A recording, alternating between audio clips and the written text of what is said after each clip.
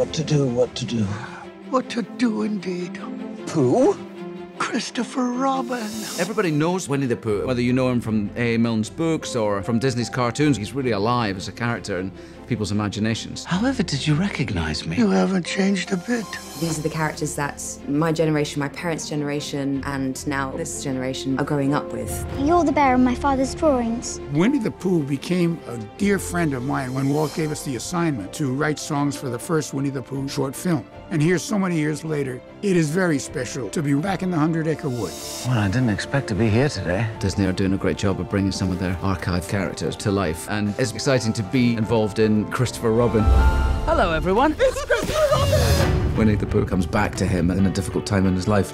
Christopher Robin always comes to save us. Now it's our turn to save him. He sort of speaks a lot of truth, Pooh. It would appear that I am stuck. Have you just eaten honey? The whole new generation is being introduced to this beloved character is uh, something very exciting. Hello, everyone. Oh, hello. This is a charming story of a man finding his home again and finding that in a child. Silly old bear. It really is a lovely, funny adventure. We'll come out the better for it, having seen it, I think. Come on, let's bounce!